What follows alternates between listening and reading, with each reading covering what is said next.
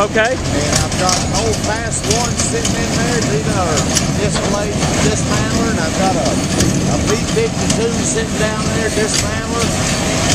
Okay. And uh, Yeah, I need to get all that picture for you. you know, Absolutely.